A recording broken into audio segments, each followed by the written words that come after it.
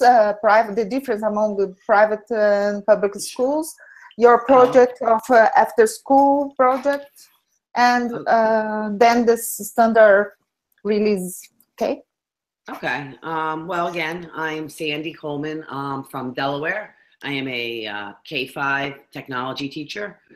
Um,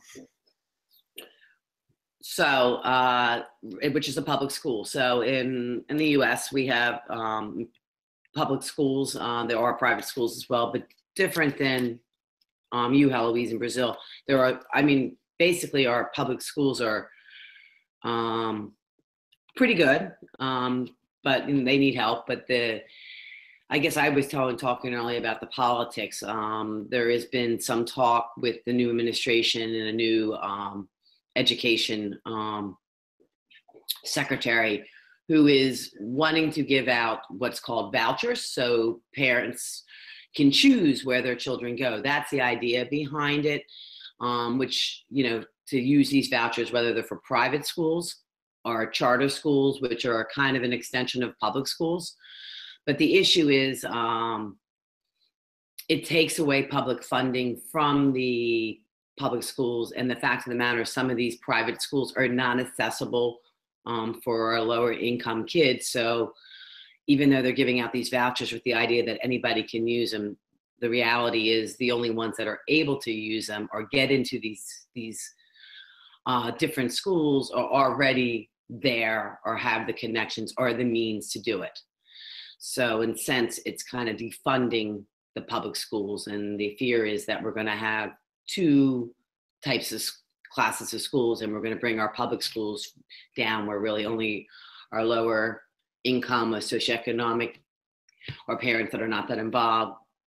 Um, and then you would have your private schools that, and then we're losing our funding and it would change the, you know, it's going to that's my fear that it's going to bring and a lot of people agree with that it's going to bring the, the public schools down so that's one thing that's been happening um, in the us and the other thing i spoke on was on the new standards um, and the new framework. There's a c uh, computer science k-12 framework that was uh, i guess it was 2016 when they came up with the new one. And based on that over this summer Computer Science Teacher Association, which is a strong computer science organization in the US, has taken that framework and has released um, national standards for K through 12 and very promising.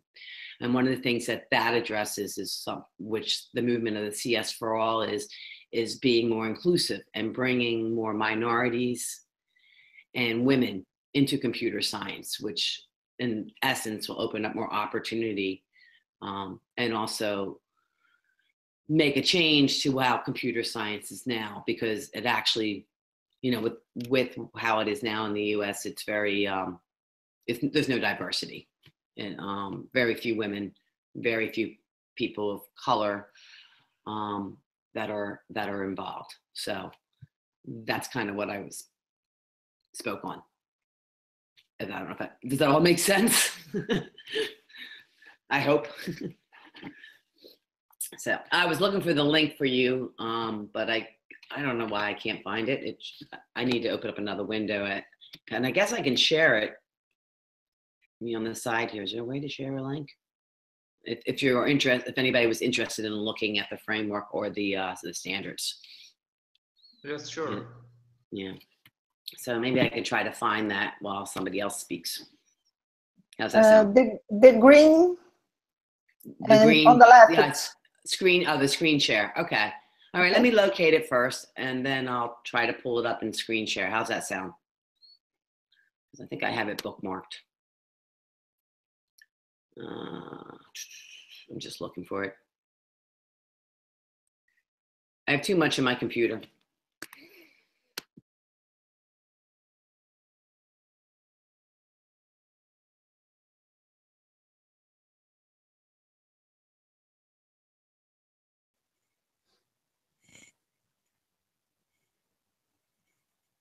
Oh, she just shut off the Hangout, I think. But you probably go into the Hangouts again. Yeah. Okay, I'm back. Sorry about that. See, I told you I couldn't multitask. But I did find, um, I have it on another tab. I did find, I think I found the standards. Yes. So I have it opened in another link. So if I click on the green and then I click on my other link, you will see it. Is that right?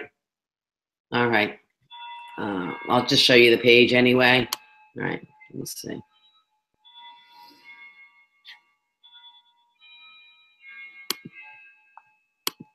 Okay. All right, so here is the page for the uh, CST K-12 um, standards. And actually, the way they've made this, this is a really great site in the sense that you can look at it uh, different ways. You can click over here on level and you can look at by grade band. Or if you're looking to teach a specific concept, um, it's broken down by the concepts. And um, these are where I'm at here, the algorithms and program, computer science, data analysts, impacts of computing and network and internet are like the, uh, are some of the main focus. And then under that, we have the sub concepts, um, and you can pull up by that. And then the practices. It's kind of like a 2D um, way of teaching. You have your concepts and then you have your practices. And the idea is to teach a concept within those practices together, similar to what we've done with our science standards, the NGSS. And you, it, it's quite extensive, but it's very helpful. They have a progression chart, which I like, which will show it across the grade bands and how the concepts and practices can be applied at different grade levels and how they should be. So they help each other. So that's basically, um, and they have a glossary and a little bit about the authors here as well.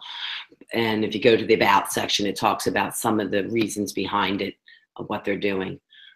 Um, so that's basically what what we have. So how do I unscreenshot? But anyway, so that's it. I don't know if I if you can see it, the link. Uh, sorry, can um, you share the link uh, on the discussion on the right? Yeah, yeah. Let me. Okay, so I'm gonna make a copy of that. All right, and, and then I'll go back. All right. So where? is- I'm sorry. I'm not. Uh, do I go into the? I'm gonna go into the toolbox. Is that where we'll find the way to share a link? Nope.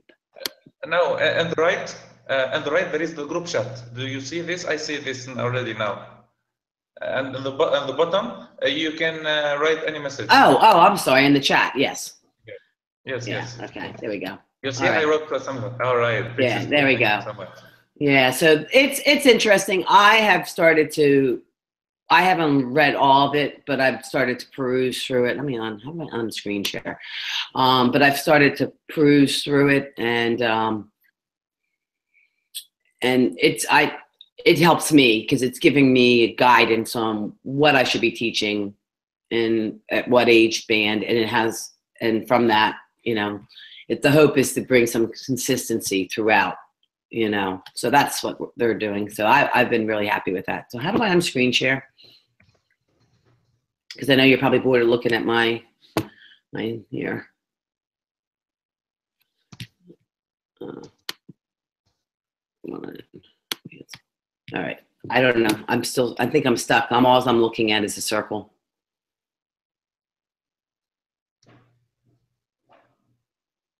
um, Eloisa, can you help?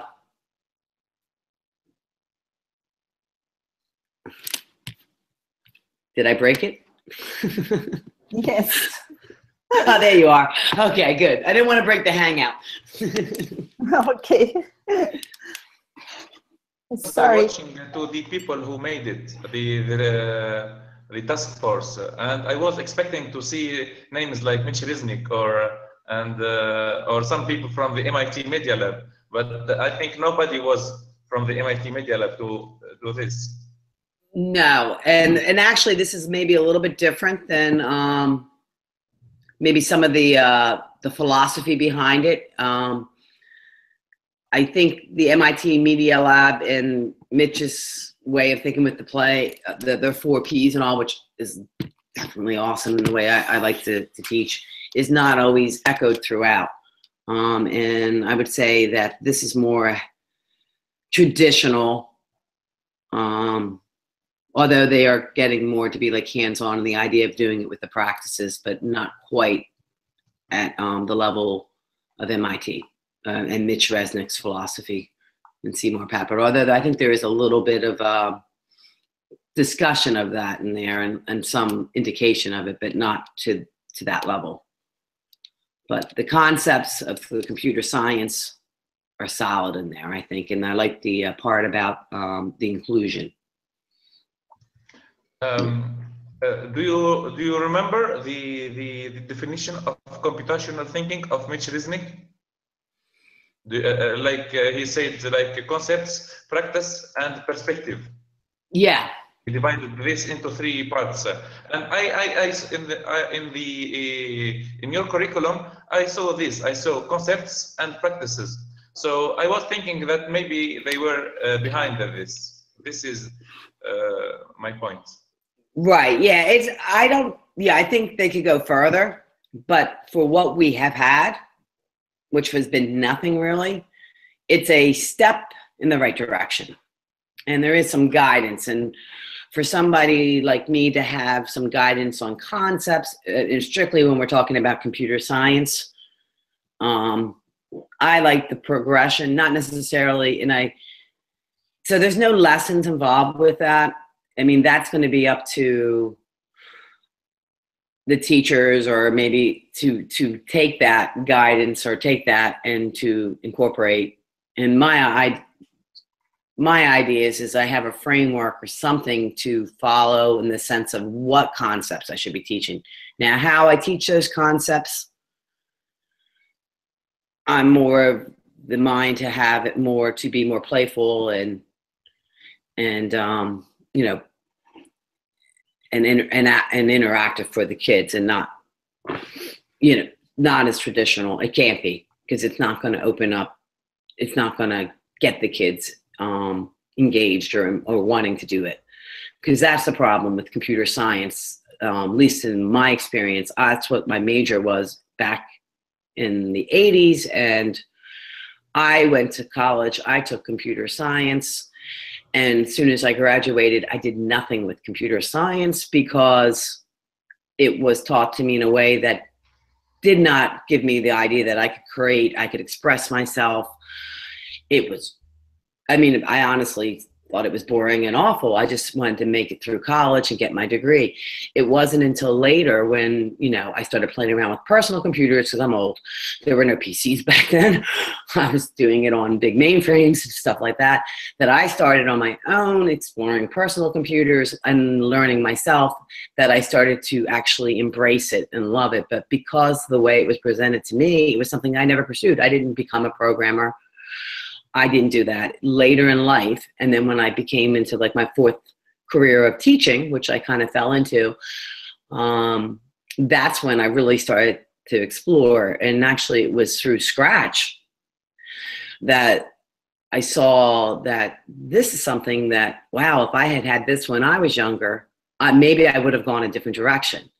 And I, I mean, as a learner myself, because this was all new to me as well, I was able to express myself. And, and to this day, I'm still in scratch making projects and expressing myself. My coworker had a birthday the other day, so I remixed a project for him that I had made originally for Scratch Day with the cat singing a Beatles song, happy, happy birthday. And I presented that to him at a, you know, at school. And it's just, that's what I want to get my kids and my students to do, to see it differently than I saw it. Because I was